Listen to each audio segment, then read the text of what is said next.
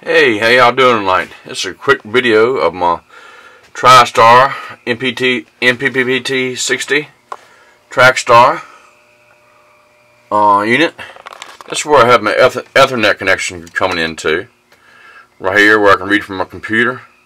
And it goes inside this box on this D DC disconnect box.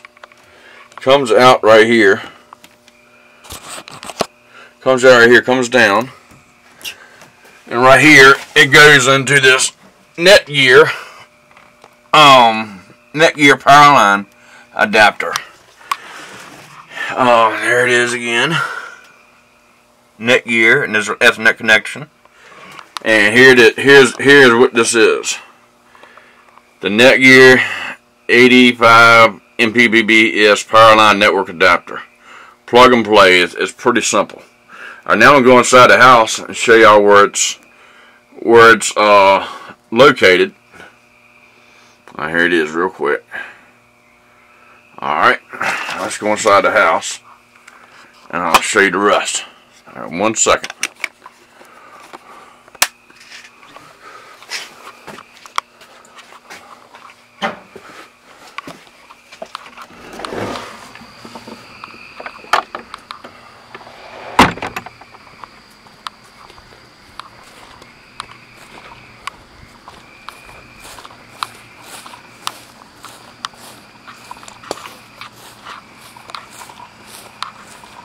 Alright, y'all just hang tight. Walking to the house. I'm about good 150 feet away from the house.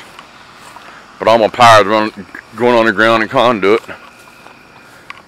But those power lines work anywhere. You got a connection or you're gonna use it in your shop or you, anywhere. As long as you got power coming to your house. And that's need the internet travels through the power lines.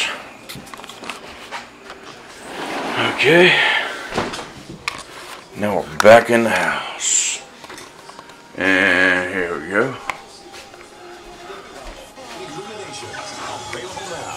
And right here,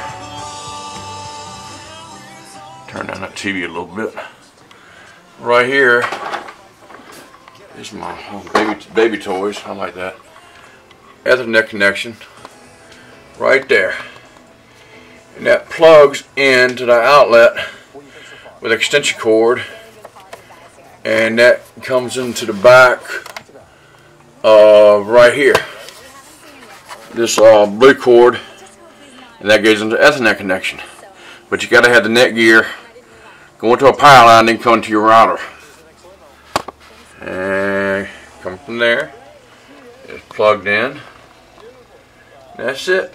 There it is it's plugged in zoom in a little bit. Ooh, too much. Right there. And it comes there and it goes to your wireless router. Alright, y'all have a good one.